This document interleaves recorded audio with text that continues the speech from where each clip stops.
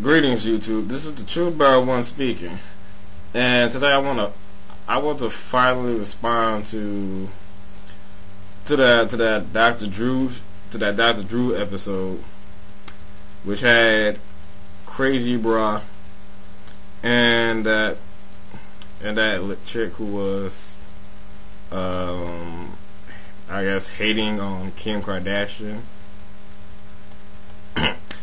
or whatever. I seen already seen tons of other people uh make a response make a response to, that show.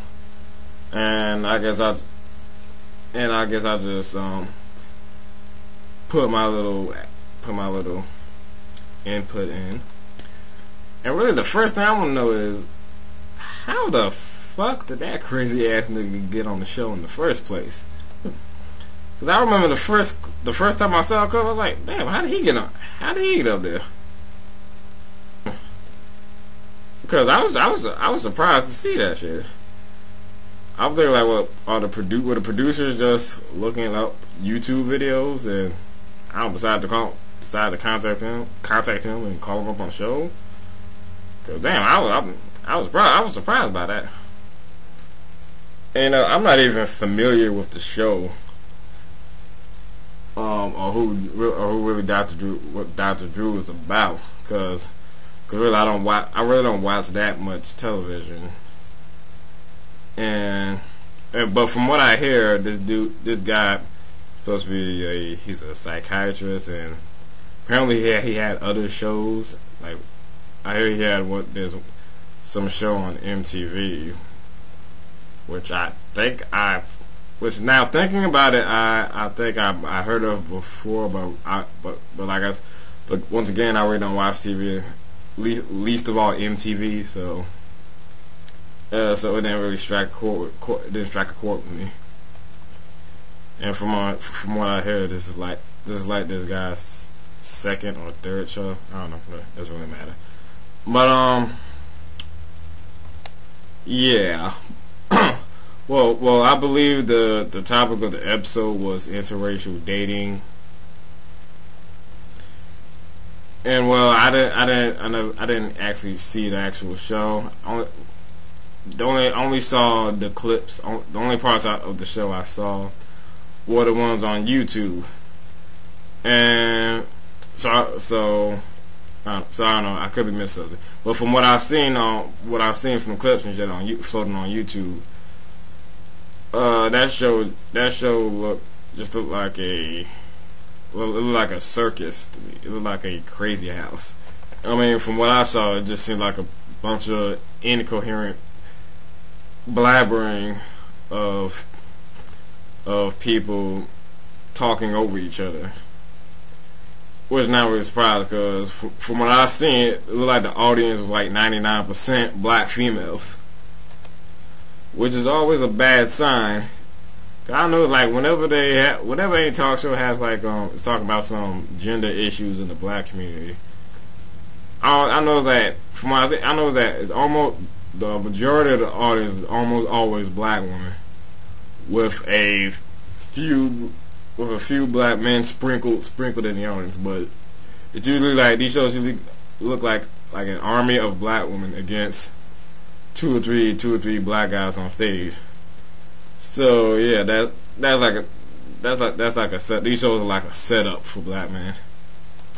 And but anyway, they had they had that um that the black the black woman who was I think most I guess she's most popular for being on Kim Kardashian show as the hate as the hater oh, whatever you want, whatever you want to call it.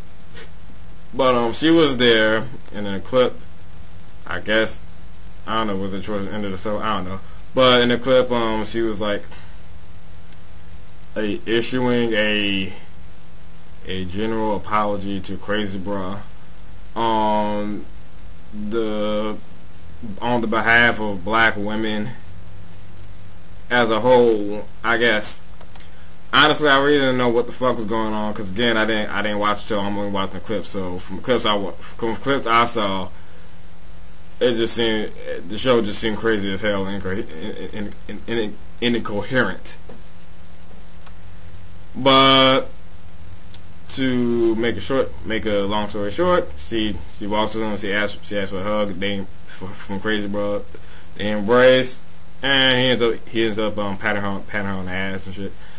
And then she basically then the chick she basically um it kind of wiles out saying wiles out saying that uh oh yeah this is, saying this is the reason why uh there's so much disconnect between black men and black women because black men don't respect always disrespect black women they disrespect black women for centuries yada yada yada blah blah blah. And of course the 99% black female audience ate that up. And of course they and uh, now of course now now now her complaints look look legit and I will say I will say what Crazybruh did was wrong was wrong was wrong move touching, you know, of course, it's, it's never right to touch a woman's body without her permission. Yeah, yeah, yeah. But I don't, I really don't know what to make of this, make of this show because I don't know, cause the chick, the chick from Kim Kardashian, who was on there talking about Kim Kardashian, I heard that she's, I heard that she's an actor, an actress, an aspiring actress, whatever. Plus, I also heard some stuff that um, Crazybruh said that he was trying to get into acting. So now I'm thinking, and I, so and other people have alluded to the fact that the, that the whole that the whole damn thing might have been might have been just staged. Cause first seems like first seems like oh he he he that he that maybe he was set up on behalf of her and the show. That that was like oh the whole thing the whole the whole show was fake fake from the jump. I I really don't know what the fuck what the fuck it's all about and truly I really don't care because the main the main underlying issue of all this is that the you know the so-called black gender war is now becoming mainstream. I've heard several YouTubers uh, um, made the complaint that we're that we're putting on issues on the forefront for everybody else to dissect, like how we should we shouldn't we shouldn't bring our issues out to the open. We should handle them by ourselves. We should uh, we shouldn't put on a show for the people. We shouldn't we should not air our dirty laundry. And I'm like, man, fuck all that. Cause me, I'm like, if black people could handle our problems in private, then we would have done so already.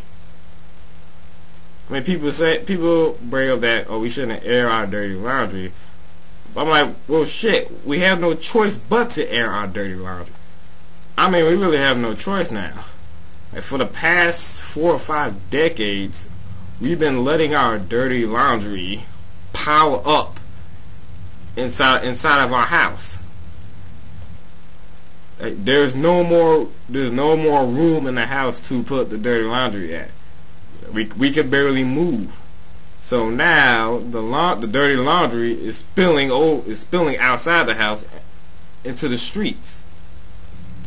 I mean when there's when there's no more room inside the house, the dirty laundry is gonna have to go outside. And then everybody's gonna see it. Regardless, whether we want to or not. It's like black people are so focused on making sure that nobody sees our dirty laundry that we don't that we never actually clean the laundry because we're so we're so busy trying to keep it hidden just clean the laundry and then you won't have to worry about anybody else seeing it